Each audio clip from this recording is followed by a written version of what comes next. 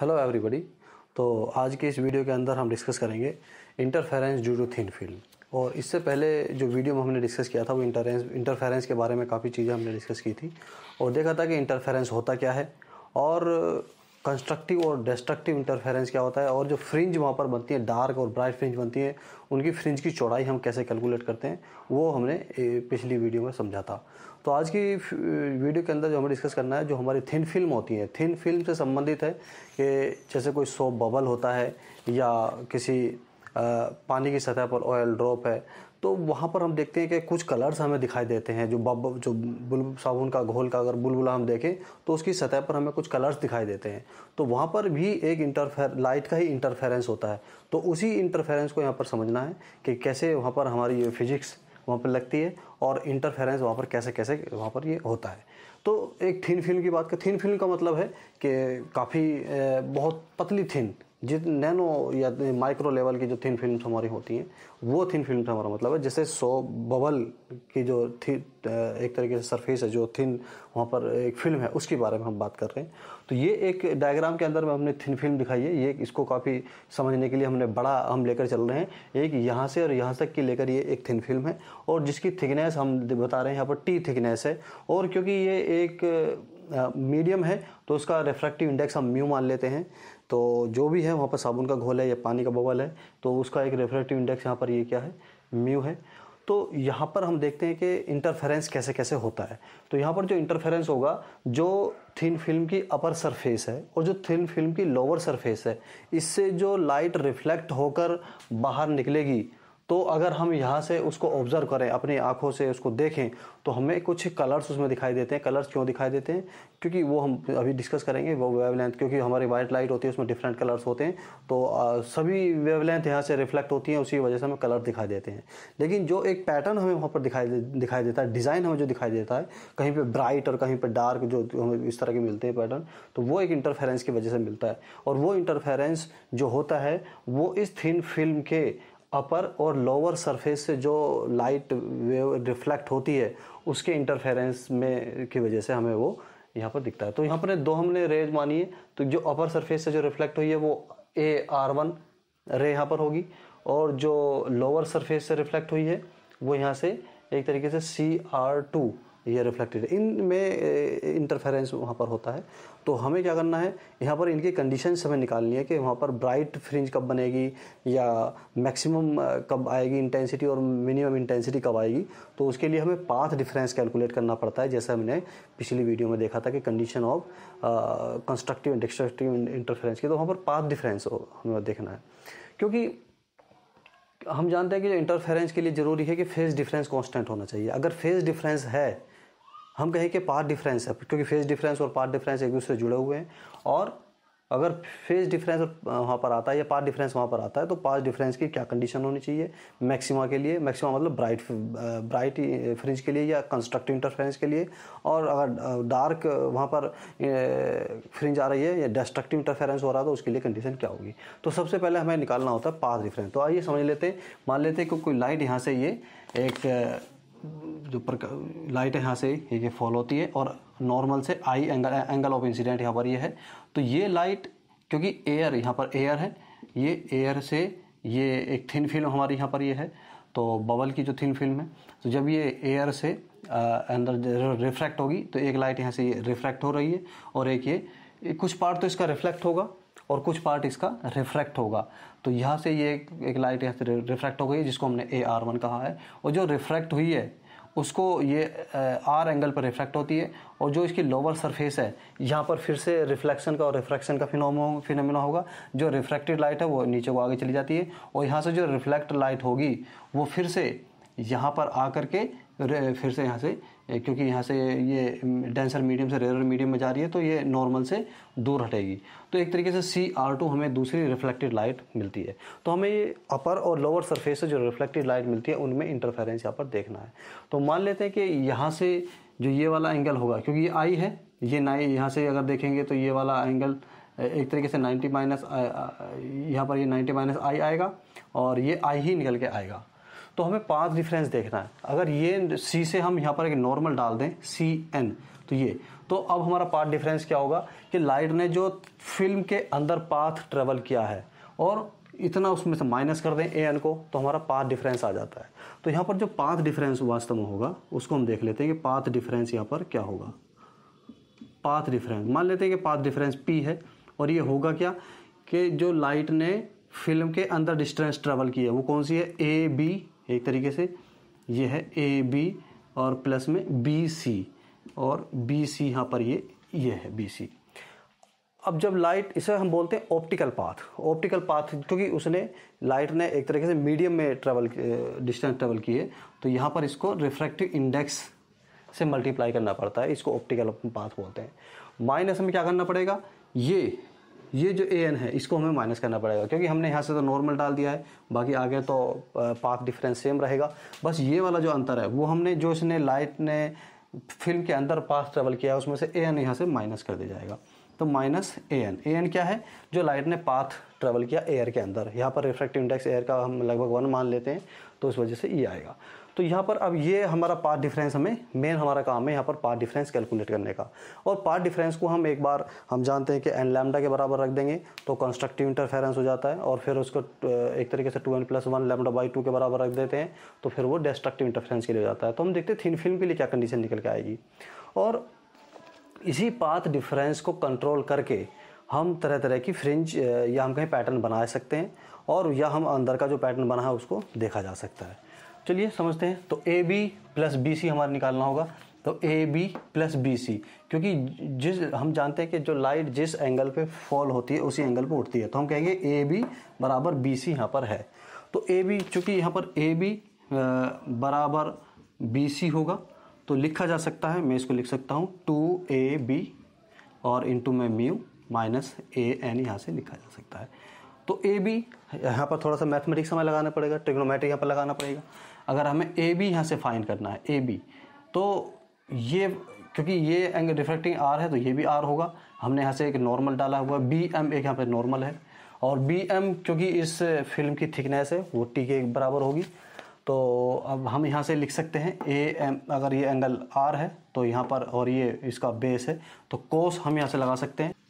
To into में B M upon ये लिखा जा सकता है कॉस आर तो ये यहाँ से लिखा जाएगा इनटू में म्यू माइनस ए एन अब ए एन को देख लेते हैं, और इसके लिए जो हमारे पास ट्राइंगल यहाँ पर ये है ए सी एन इसमें जब लगाएँगे, और हमें चाहिए इसमें ए एन चाहिए तो यहाँ से ये इसका परपेंडिकुलर हो जाएगा, और ये ए सी पूरा इसका हाइपोटेनियस हो जाएगा। तो यहाँ पर इसको हम देखें तो साइन इसमें हम लगाएँगे तो ये निकल के आएगा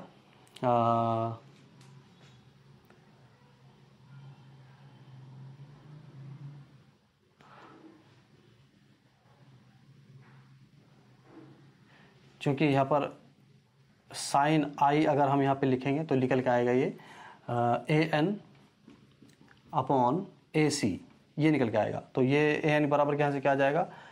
ए सी और साइन आई यहाँ से निकल के आएगा। तो ये चीज़ यहाँ से निकल के अब ए सी किसके बराबर है? ए सी यहाँ पर है A M plus M C के बराबर होगा। और बी एम यहाँ पर क्या है? टी के इक्वलेंट है, इसकी बी एम यहाँ से इसकी थिकनेस के इक्वल है।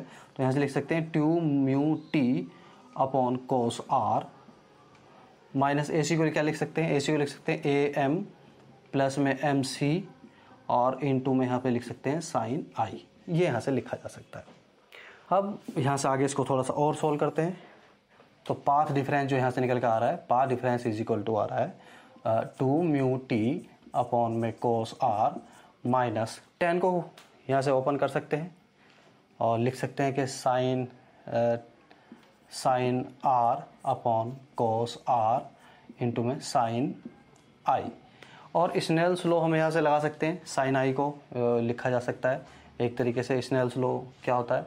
वो ये होता है कि म्यू बराबर जो होता है वो sine I upon sine r होता है। तो ये वाला हम स्नेल्स रूल लगा सकते हैं। तो two mu t upon cos r minus यहाँ पर हो, ये हो जाएगा। जब हम यहाँ से साइन आई की जगह ये रखेंगे तो यहाँ से आ जाएगा mu sine square r upon cos r.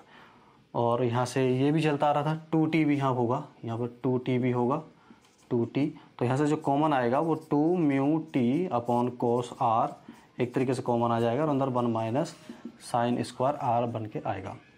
यहाँ से टू म्यू टी अपॉन में कोस आर इसको लिख सकते हैं हम यहाँ से कोस स्क्वायर आर और यहाँ से आ जाएगा two mu t cos r तो ये पार्ट डिफरेंस यहाँ से निकल के आया है। अब ये जो पार्ट डिफरेंस यहाँ से निकल के आया है इसमें थोड़ा सा अभी ये बिल्कुल फाइनल पार्ट डिफरेंस नहीं है। अब यहाँ पर हमें जो ए एन के अभी इसमें से थोड़ा सा और माइनस हमें करना पड़ेगा। वो क्या है, उसको यहाँ पर ये बिल्कुल ध्यान रखने वाली चीज़ें हैं कि यहाँ पर हम देखते हैं कि जब लाइट जो है रेयर से डेंसर मीडियम में जाती है और जब वो डेंसर का जो यहाँ पर ये सरफेस है, यहाँ से जब रिफ्लेक्ट होगी तो यहाँ से वेव के अंदर एक जो फ़ेज़ डिफरेंस है वो पाई का आ जाता है। पाई फ़ेज़ डिफरेंस, ये याद रखना है अभी हमें कि पाई का फ़ेज़ डिफरेंस आ जाता है और पाई का फ़ेज़ डिफरेंस बताता है कि lambda by two path difference, क्योंकि फॉर्मूला हमारे पास होता है जो फ़ेज़ डिफरेंस होता है, वो टू पाई अपॉन में लैमडा इंटू पाथ डिफरेंस हो जाता है। तो अगर हमें फ़ेज़ डिफरेंस यहाँ पर देखते हैं कि पाई का फ़ेज़ डिफरेंस इस वाली वेव में आता है तो यहाँ से lambda by two extra path difference निकल के इसमें आ जाता है। तो यहाँ पर जो extra path difference lambda by two है, वो इसको माइनस क्योंकि ए एन माइनस हुआ है तो उसी के साथ ये भी माइनस होगा।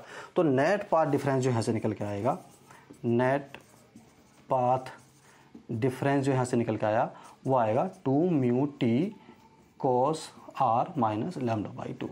तो ये net path difference thin film अगर हम इंटरफेरेंस की वहाँ पर स्टडी कर रहे हैं, देख रहे हैं तो नेट पार डिफरेंस ये निकल के यहाँ से आता है। अब इसको अगर हम कंस्ट्रक्टिव इंटरफेरेंस की बात करें for constructive interference for constructive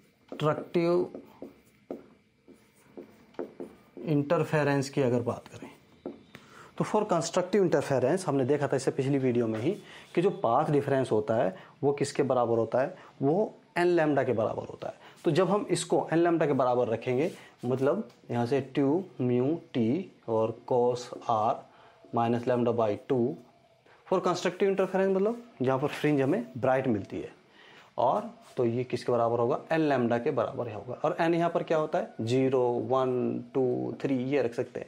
यानी कि फ़र्स्ट ऑर्डर की जो first order zero order first order second order की जो हमें वहाँ पर फ्रिंज फ्रिंजेज ब्राइट फ्रिंजेज मिलती हैं, उसके लिए है।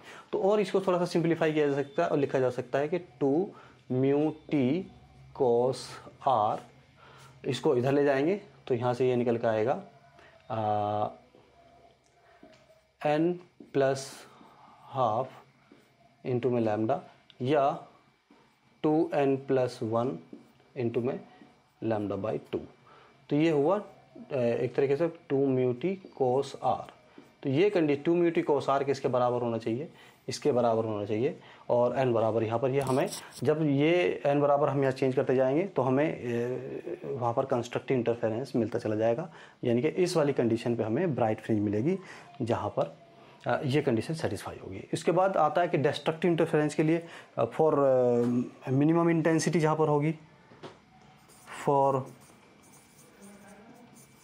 डेस्ट्रक्टिव इंटरफेरेंस की बात करें तो लिखेंगे जो पार्ट डिफरेंस है हमारा two mu t cos r minus lambda by two ये बराबर किसके होगा? हमने पिछली वीडियो में देखा था कि two n plus one into में लेमडा बाई टू के बराबर होगा। और जब इसको हम हल करेंगे तो निकल के आएगा two mu t cos r is equal to two n plus two into में लैमडा बाई टू। तो ये कंडीशन यहाँ से निकल के आती है। तो these are the conditions for constructive and destructive interference इस कंडीशन में हमें यहाँ पर ये इंटरफेरेंस मिलेगा। तो थी, इसी वजह से हमें वहाँ पर कलर और बताते हैं कि वहाँ पर जो ये तो हुआ कि वहाँ पर इंटेंसिटी ज़्यादा या कम क्यों होती है, तभी हमें एक वो वहाँ पर फ्रिंज पैटर्न मिलता है। अब देखते हैं कि वहाँ पर हमें कलर्स क्यों मिलते हैं? जो हमारा बबल होता है, कोई भी एयर बबल है तो वहाँ पर। अगर, और साथ ही हम देखते हैं कि जब हम ना, हम जो देखने, जो हमारा आई एंग का एंगल है, जो आँखों का एंगल है contact angle angle of contact अगर उसको हम थोड़ा सा इधर उधर करें तो हमें कलर्स भी अलग अलग दिखते हैं।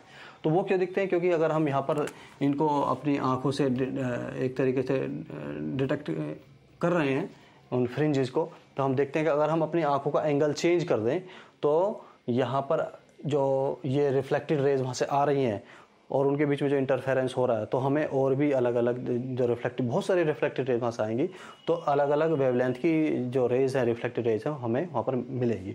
क्योंकि हम जानते हैं कि जो हमारी वेव होती है, उसमें सेवन कलर्स होते हैं वेव की ओर।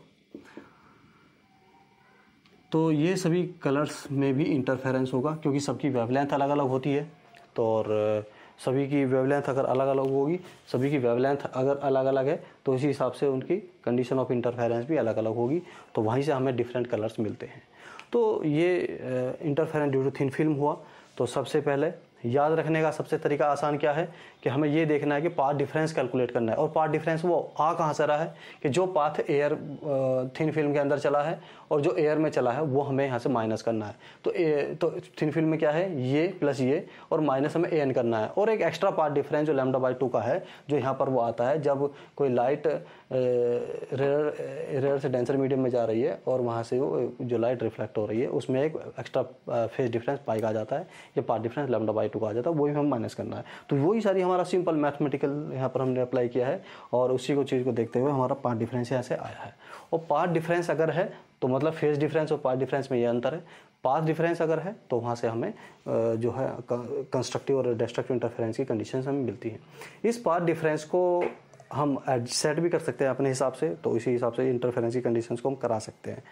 तो आज की वीडियो में हम इतने रखना था। अगली वीडियो में हम कुछ और चीज़ें देखेंगे ऑप्टिक्स की। तो आज रखते हैं। थैंक यू जय हिंद